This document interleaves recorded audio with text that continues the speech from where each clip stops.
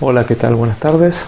Mi nombre es Federico Daray, soy médico psiquiatra y me dedico a hacer investigación en el área de neuropsicofarmacología. Eh, soy investigador independiente del CONICET y actualmente trabajo en el Instituto de Fármaco y ya hace casi 20 años que soy docente de la tercera cátedra de farmacología y me dedico a la coordinación de todo lo que son las clases de neuropsicofarmacología. Eh, ahora lo que voy a presentar es una clase sobre el litio. Mi objetivo en esta charla es tratar de revisar algunos conceptos fundamentales del litio. Esta clase suele estar asociada a la clase de antidepresivos porque tanto los antidepresivos como el litio se utilizan para el control de los trastornos afectivos eh, y en, lo que es la importancia de cada uno de estos temas, claramente los antidepresivos son fármacos mucho más utilizados en la práctica, tanto por médicos psiquiatras como por médicos no psiquiatras, mientras que el litio es un fármaco que este, permanece reservado para un grupo específico de pacientes, que son aquellos pacientes con trastorno bipolar, y en general es un fármaco que tiene un manejo mucho más difícil y por eso solemos utilizarlo solamente los especialistas en psiquiatría, no es un fármaco ampliamente utilizado como los antidepresivos. Y es por eso que esta charla eh, va a estar orientada a revisar algunos aspectos centrales e importantes que ustedes como médicos eh, deben conocer acerca del litio. Sí, básicamente vamos a revisar un poco los mecanismos de acción, esto lo vamos a hacer de forma superficial porque en realidad no se conoce exactamente cuál es el mecanismo de acción del litio, entonces vamos a revisarlos y yo les voy a comentar cuáles son eh, las teorías eh, en cuanto a su mecanismo de acción que hoy son más sólidas y que se han replicado en más modelos. Después vamos a analizar un poco la farmacocinética del litio, que esto sí es un punto muy relevante y muy preguntado en los exámenes.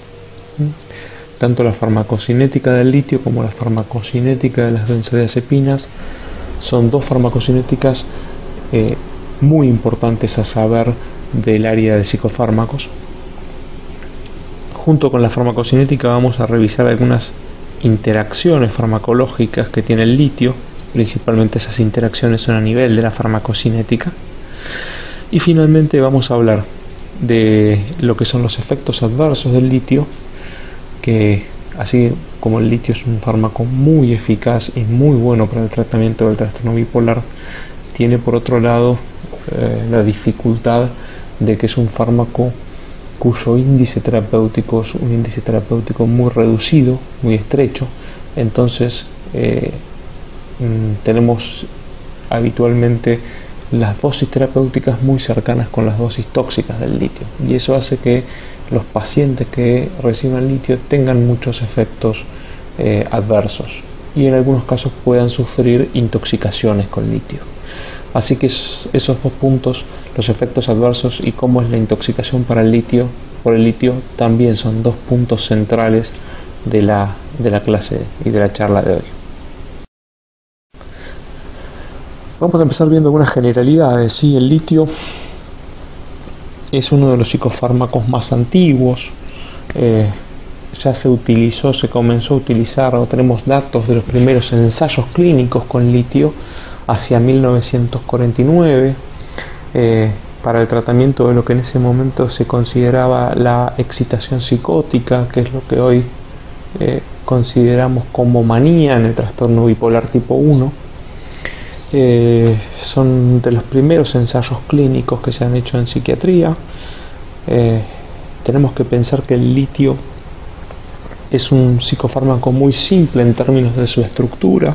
El litio es un cation, eh, es un ion con carga positiva, de hecho está en la tabla periódica de los elementos y yo suelo remarcárselos esto y les pongo una figura para Recordarles que el litio se encuentra dentro de los metales halogenados en lo que es el grupo 1A y que este, está muy cercano al sodio, con quien va a compartir dentro del organismo muchas características. Entonces se lo pongo para que lo, lo recuerden. ¿Cómo actúa el litio? Eh, todavía es materia de debate y de investigación. La realidad es que al día de hoy no conocemos con exactitud cuál es el mecanismo de acción del litio. Hay muchísimas teorías acerca de cómo actúa el litio y van a encontrar en el libro, en el material de la cursada, un montón de información acerca del mecanismo de acción. Eh, a mí, a los fines de esta charla, después el que quiera profundizar más sobre el tema puede leer el material teórico, pero a los fines de la charla me interesa revisar un poco dos de sus mecanismos de acción, que son principalmente la interferencia que genera el litio con el mecanismo de acoplamiento de determinados receptores. Y principalmente lo que tienen que saber es que el litio altera lo que es el metabolismo del inositol trifosfato, que es el mecanismo de acoplamiento de un montón de receptores en el sistema nervioso. Esto lo vamos a ver un poco más en detalle en la próxima diapositiva, pero este mecanismo de acción del litio es lo que explicaría eh, su efecto terapéutico como fármaco antimaníaco y como fármaco estabilizador del ánimo. Por otro lado, el litio también interfiere con eh, la cascada de segundos mensajeros, puntualmente eh, inhibiendo la denilato ciclasa y la producción de AMP cíclico, y eso hoy pensamos que se relaciona más con dos de sus efectos colaterales, principalmente los que se ven a nivel de la tiroides y a nivel renal y no tanto con este, su acción terapéutica.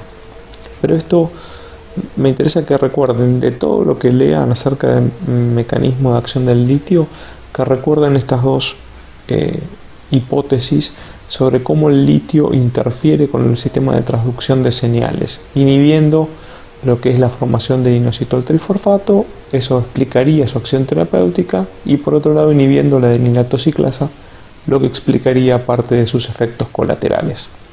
También hay otras hipótesis, ¿sí? van a ver que eh, cuando lean el material hay un montón de vías por las cuales el, litio puede incrementar la neurotransmisión serotonérgica y noradrenérgica y disminuir por otro lado la neurotransmisión dopaminérgica.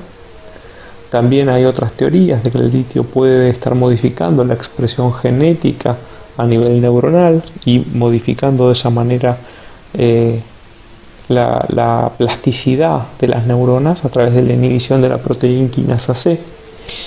Y por último también hay eh, un montón de teorías que este, un montón de información que muestra que el litio puede afectar determinadas proteínas del citoesqueleto alterando de esa forma la neuroplasticidad. A los fines prácticos y para lo que ustedes tienen que saber que se acuerden de este, de este mecanismo, que es la manera en la cual el litio interfiere con lo que es el ciclo del inositol trifosfato. Si ustedes recuerdan, así como se ve en la figura, nosotros tenemos a nivel neuronal una serie de receptores eh, de membrana, ¿sí? de la familia de los receptores que tienen siete segmentos de transmembrana, que están acoplados a proteína G. Algunos de estos receptores se acoplan a una proteína GQ. En general son receptores que median acciones eh, de estimulación neuronal, como por ejemplo el receptor 5HT2. Por mencionar un ejemplo, también hay receptores muscarínicos y receptores alfa adrenérgicos que se acoplan a la proteína GQ. Cuando ese receptor es estimulado por el neurotransmisor, la proteína GQ lo que hace es activar a la fosfolipasa C y esa fosfolipasa C a través del clivaje de los fosfolípidos de membrana produce diacilglicerol e IP3. El IP3 lo que hace es liberar el calcio intracelular y ese calcio intracelular es el que media la respuesta en la neurona mientras que el diacilglicerol, a través de la interacción con proteínas quinasas, fosforilan diferentes estructuras celulares modificando el funcionamiento de esa neurona.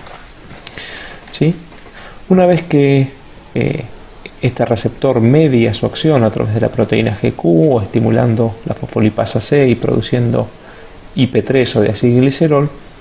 En particular, el IP3 sigue un ciclo a través del cual se recicla y vuelve a la membrana. Ese ciclo, o ese ciclo de, de reciclado del IP3 es fundamental una enzima que es la inositol fosfatasa. Y el litio inhibe la enzima inositol fosfatasa, inhibiendo de esta manera el ciclo por el cual se recicla el inositol trifosfato. Por eso, lo que produce el litio en última instancia es una depresión del inositol trifosfato. Y al no haber este mediador, ¿sí? se altera el sistema de transducción de señales para una serie de receptores que están acoplados a proteína GQ, entre ellos el receptor 5HT2A, receptores muscarínicos, receptores alfa-adrenérgicos y, bueno, y otros tantos receptores que tienen este sistema de segundos mensajeros. Esto es eh, una de las eh, evidencias más sólidas que tenemos acerca de cuál es el mecanismo de acción del litio. ¿sí? Cuando vayan a la bibliografía van a encontrar que hay otras propuestas más, pero esta es la que tienen que saber ¿sí? como, como teoría central del mecanismo de acción del litio. Siguiendo con la farmacodinamia del litio, su acción farmacológica es eh, el efecto antimaníaco y estabilizador del ánimo que se observa específicamente en pacientes con trastorno bipolar. ¿sí? Ustedes saben, algunos no cursaron todavía psiquiatría, pero básicamente lo van a estudiar en, algún momento. Los, cuadros afectivos o lo que llamamos trastornos del estado de ánimo se dividen en dos grandes grupos. Los eh, trastornos unipolares y los trastornos bipolares y dentro de los trastornos bipolares nosotros tenemos pacientes que atraviesan diferentes fases, fases maníacas, fases depresivas, ¿sí? o este, las fases eutímicas. Para estas distintas fases tenemos distintos medicamentos. El trastorno para el litio se usa específicamente para el tratamiento del paciente que tiene diagnóstico de trastorno bipolar cuando está en la fase maníaca y cuando está en la fase de estabilización, en la fase de eutimia. A diferencia de otros fármacos que tienen eh, pautas o esquemas de dosificación fijos, en el caso del litio, la dosificación, la cantidad de miligramos que nosotros le indicamos a los pacientes del litio, se ajusta en función de la concentración del litio en sangre, lo que se conoce como litemia. Entonces, para poder calcular la dosis de litio que necesita el paciente, debemos ir midiendo la litemia de ese paciente. Básicamente comenzamos con una dosis baja de litio y al pasar cuatro vidas medias, que consideramos que la concentración está estable, medimos una litemia, le medimos la litemia al paciente. En caso de que nosotros querramos conseguir en este paciente un efecto antimaníaco, necesitamos que el paciente tenga un valor de litemia entre 0,8 mil equivalentes litro y 1.2 mil equivalentes litros. Esa es la litemia que nosotros necesitamos para un efecto antimaníaco. Y para lograr su acción estabilizante, digamos, del ánimo en el periodo de eutimia, nosotros usamos dosis o concentraciones más bajas, que van de los 0,6 mil equivalentes por litro a los 0,8 mil equivalentes por litro. ¿Mm? Fíjense por último también que las concentraciones terapéuticas del litio están muy cercanas a las concentraciones tóxicas. Fíjense que a partir de 1,5 mil equivalentes por litro de litio empezamos a ver efectos de toxicidad de este fármaco. ¿Sí? Quiere decir que las concentraciones plasmáticas terapéuticas y las concentraciones tóxicas están muy cercanas. Y ese es uno de los problemas que tiene el, el uso del litio. Vamos a hablar un poco de la farmacocinética del litio. El litio se administra por vía oral en forma de comprimidos. No hay otra manera para administrar el litio. Y tiene una buena biodisponibilidad por vía oral. Se absorbe más del 95% y el paciente lo puede tomar con las comidas o por fuera de las comidas. Es importante que recuerden que el pico plasmático del litio, después de su administración por vía oral, se observa entre los 30 minutos y las 2 horas. Y esto es importante porque hay algunos efectos colaterales del litio que se van a relacionar con el pico plasmático, principalmente el temblor. Entonces es importante que lo reconozcan porque cuando el paciente presenta temblor asociado al pico plasmático, nosotros podemos mejorar o corregir ese efecto adverso modificando la forma en que administramos el litio y repartiendo la cantidad de tomas a lo largo del día. Es decir, si el paciente hacía una única toma de 600 o de 900 miligramos por día de litio, nosotros podemos repartir esa toma a lo largo del día y lo que vamos a estar bajando son los picos plasmáticos. Vamos a tener picos plasmáticos más bajos conservando la misma área bajo la curva. Es decir, la cantidad de dosis del medicamento diaria va a ser igual, pero con picos más bajos. Y eso nos va a permitir corregir un efecto colateral muy muy frecuente que se presenta casi en 70% de los pacientes, que es el temblor. ¿Mm? Por eso hay que intentar ver si el temblor del paciente se correlaciona con el pico plasmático. ¿Mm? Bien, en cuanto a la distribución del litio, es una distribución generalizada, atraviesa las barreras, así como atraviesa la barrera hematoencefálica, también recuerden que atraviesa la barrera placentaria y acuérdense que el litio es teratogénico y que está clasificado como eh, categoría D de la FDA para toxicidad en el embarazo. Eh, si bien esto en los últimos años se ha revisado y hoy por hoy consideramos que el litio tiene una toxicidad en el embarazo que es menor en términos de magnitud que lo que pensábamos antes, es verdad que el litio se asocia a un tipo específico de malformación que se llama malformación de Epstein. Estas malformaciones se producen a nivel cardiovascular eh, y son muy específicas del litio, pero con los años y con la evidencia que hemos acumulado en los últimos años, sabemos hoy por hoy que su toxicidad o la frecuencia de aparición de esta malformación de Epstein es mucho menor de lo que pensábamos originalmente. Por eso el uso de litio en el embarazo, si bien no está recomendado y es categoría D eh, de la FDA, eh, se debe evaluar en cada mujer en particular, cada caso en particular. Por otro lado, acuérdense en lo que respecta a la distribución que el litio no se une a proteínas, ¿sí? en relación al metabolismo. Acuérdense que el litio no se metaboliza. El litio es un catión, es como el sodio, es como el potasio por consiguiente no se metaboliza dentro del organismo y se excreta como tal por vía renal. La principal vía de, eliminación del litio es la vía renal. Prácticamente el 95% de la cantidad de litio que le damos a un paciente se excreta por vía renal y la excreción se da por filtración a nivel del glomérulo renal y parte del litio que filtra en el glomérulo renal se reabsorbe en el túbulo contorneado proximal.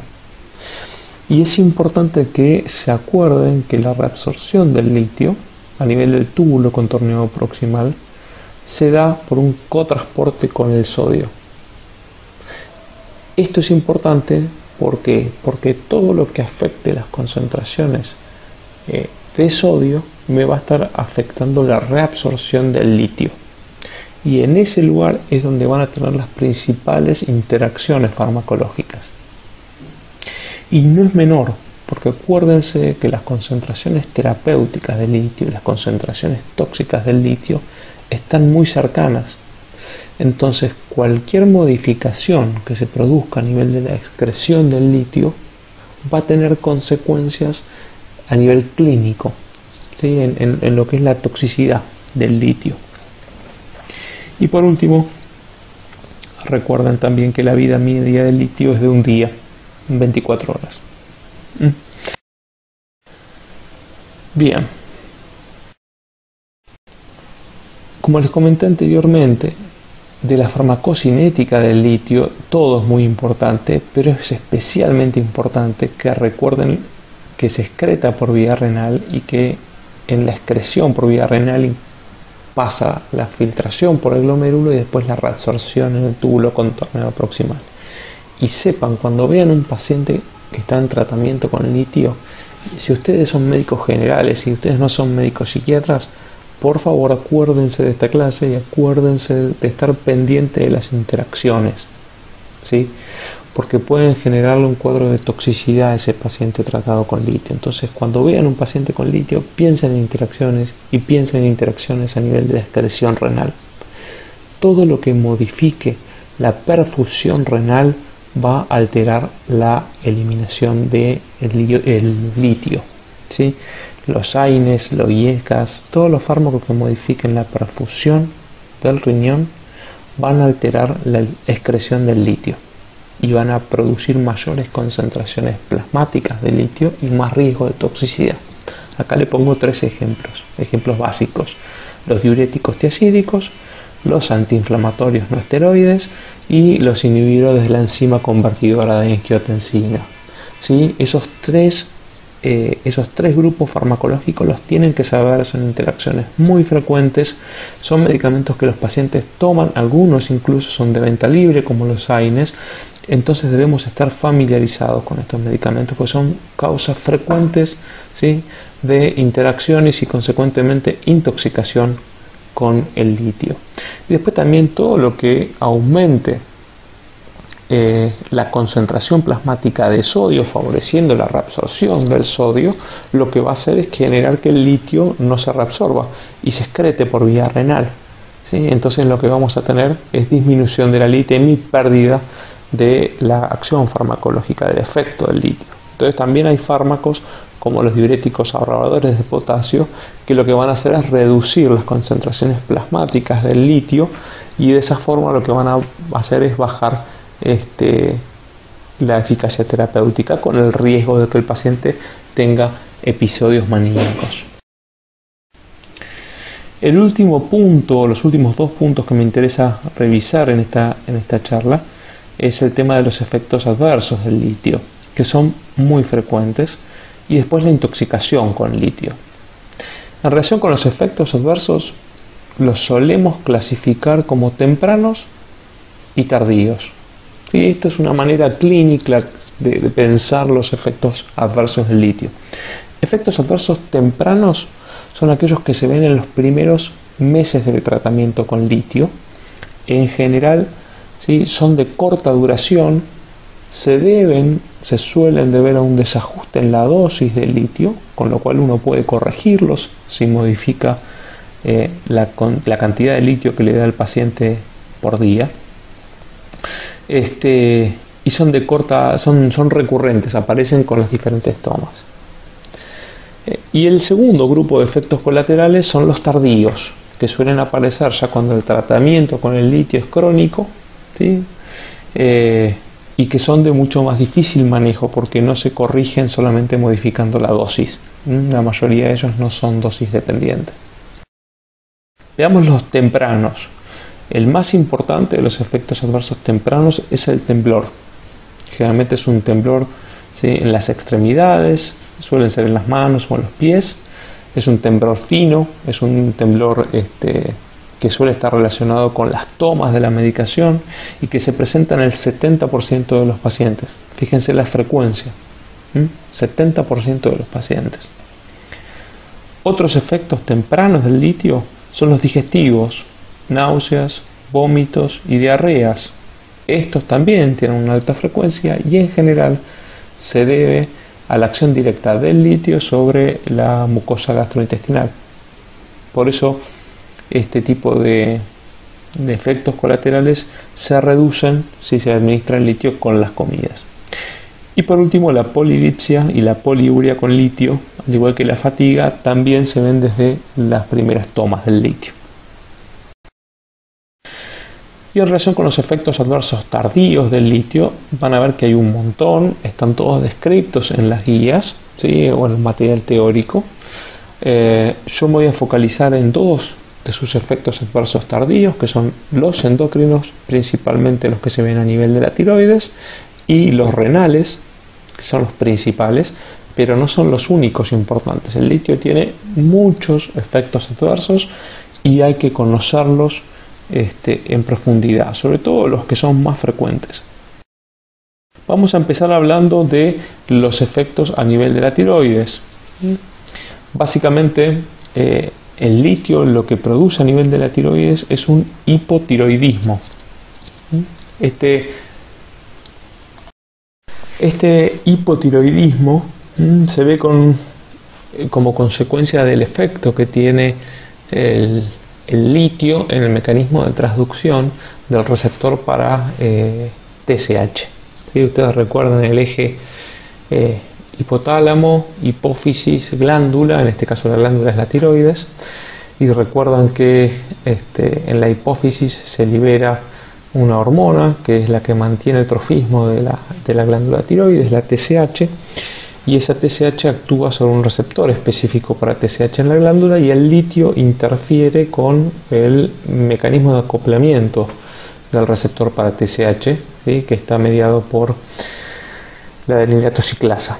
¿Sí? Al interferir con la adeninatociclasa, interfiere con la acción de la TSH y lo que tenemos es un hipotiroidismo porque va a haber menor producción de hormonas tiroides, menor producción de T4 y de T3 y este hipotiroidismo se va a asociar también a altas concentraciones de TSH. ¿Mm? Sumado a este efecto del litio sobre el receptor para TSH, también el litio inhibe la captación del yodo por parte de la glándula eh, y también inhibe la conversión periférica de T4 a T3.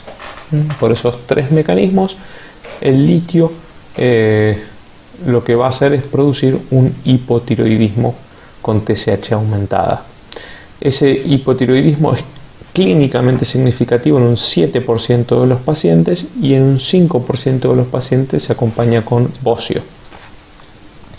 Se suele ver dentro de los primeros 6 meses del tratamiento con litio y es reversible, es decir, que si uno saca el litio, el funcionamiento de la tiroides vuelve a ser normal. Para el control de este efecto adverso, lo que se recomienda es antes de comenzar el tratamiento con litio para pedir un perfil tiroideo. ¿Sí? Antes de empezar el tratamiento con litio pedimos dos cosas a los psiquiatras. Una es un perfil tiroideo y la otra es el funcionamiento renal.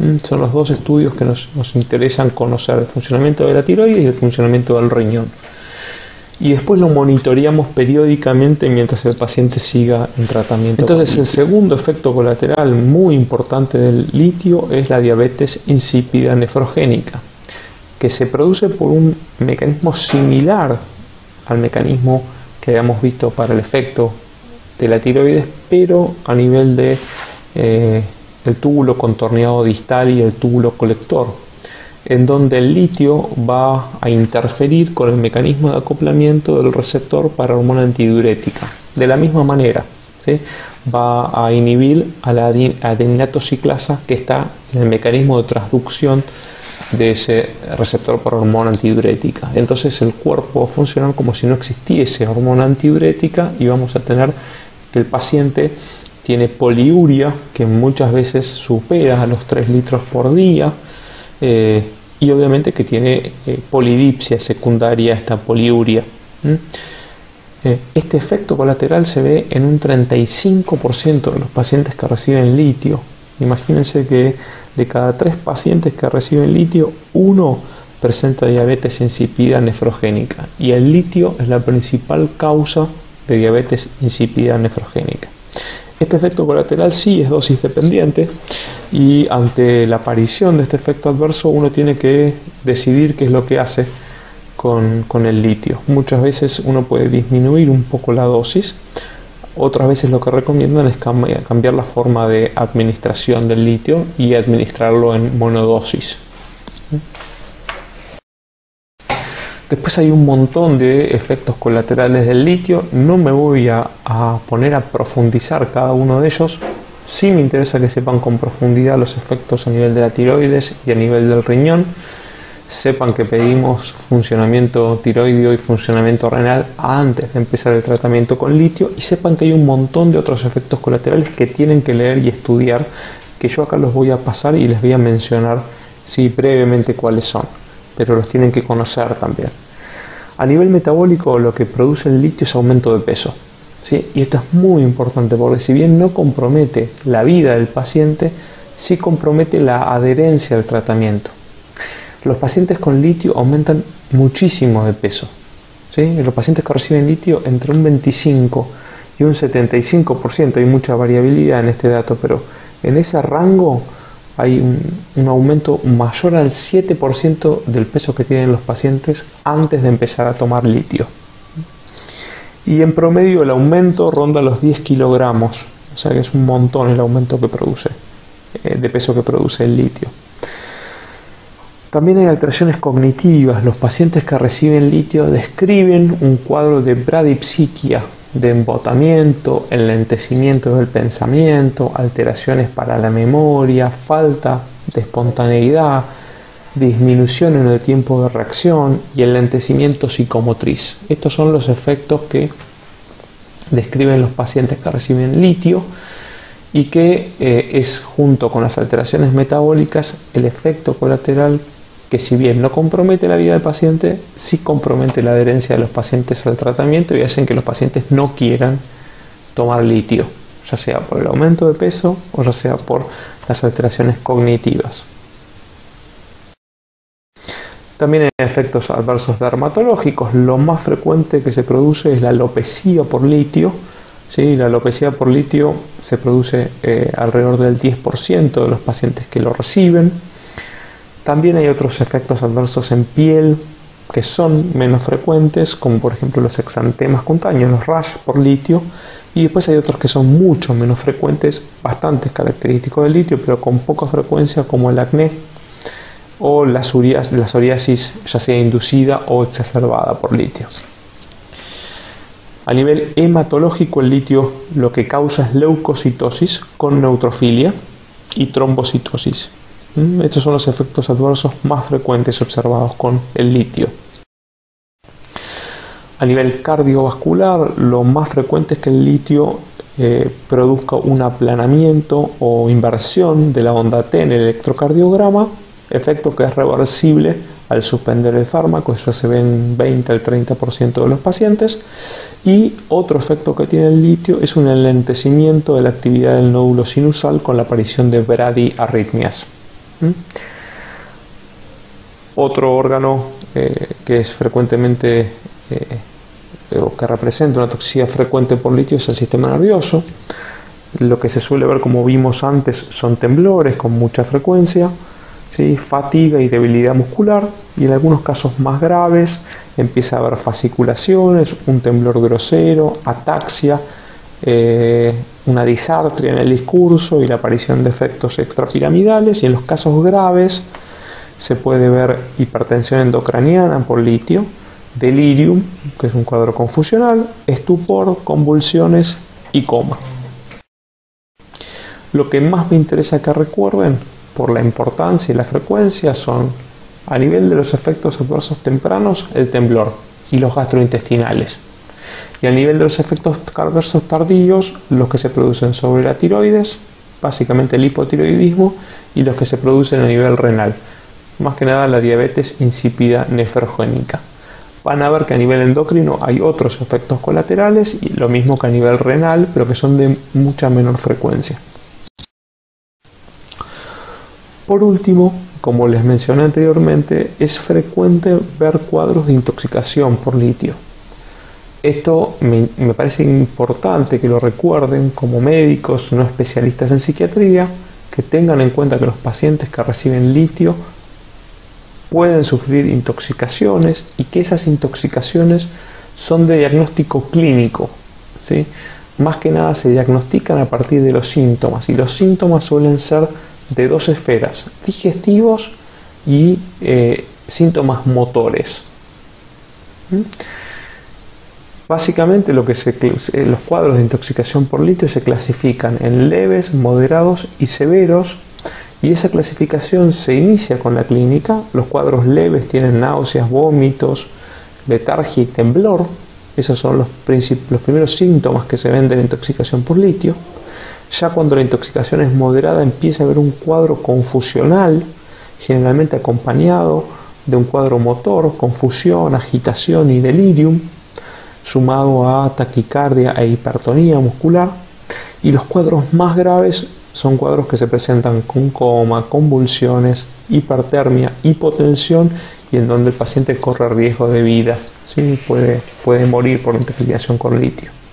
Como les dije, el cuadro de diagnóstico clínico en cualquier paciente que está tomando litio en forma crónica, en donde aparecen síntomas motores o síntomas digestivos o cuadros confusionales, sospecho intoxicación por litio. Suspendo la administración del fármaco y hago un dosaje de la litemia en sangre, ¿sí? del, del litio en sangre, de la litemia.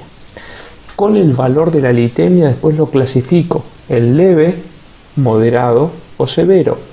Leve de 1,5 a 2,5, moderado de 2,5 a 3,5, severo más de 3,5. Y en función de la clasificación y en función de la clínica, me fijo si es necesario la internación o no del paciente. Generalmente los cuadros moderados y severos requieren la internación del paciente, muchas veces requieren de cuidados intensivos, medidas de sostén y el tratamiento para la intoxicación con litio es eh, poner una solución este, con sodio, ¿sí? un suelo con sodio y lo que buscamos con esto es que el sodio compita a nivel del túbulo contorneado proximal por el cotransporte con el litio y al poner un exceso de sodio lo que apuntamos es que el litio no se reabsorba y se excrete por orina.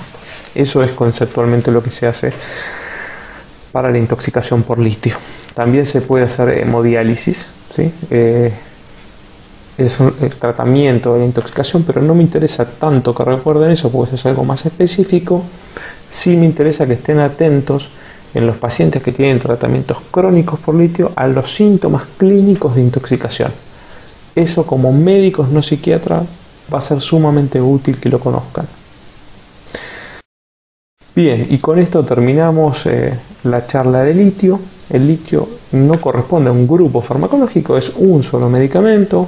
Se puede a veces englobar dentro de lo que son estabilizadores del ánimo, que incluyen al litio y algunos anticonvulsivantes, eh, que también se usan para estabilizar el ánimo en pacientes bipolares. Acá lo vemos como eh, un único medicamento, es un fármaco muy importante eh, acuérdense la farmacocinética del litio, los efectos colaterales, la intoxicación con litio y las interacciones farmacocinéticas, sobre todo a nivel renal. Eso para mí son los cuatro temas centrales de esta clase de litio. Y bueno, con esta modalidad virtual y con estas clases grabadas no podemos tener mucha interacción, pero cualquier duda que ustedes tengan acerca de esta, de esta clase de de litio o cualquiera de las clases que, han tenido conmigo, me pueden escribir al correo electrónico que figura en la diapositiva eh, e intentaré responderles lo más rápido posible. Bueno, muchas gracias y un saludo.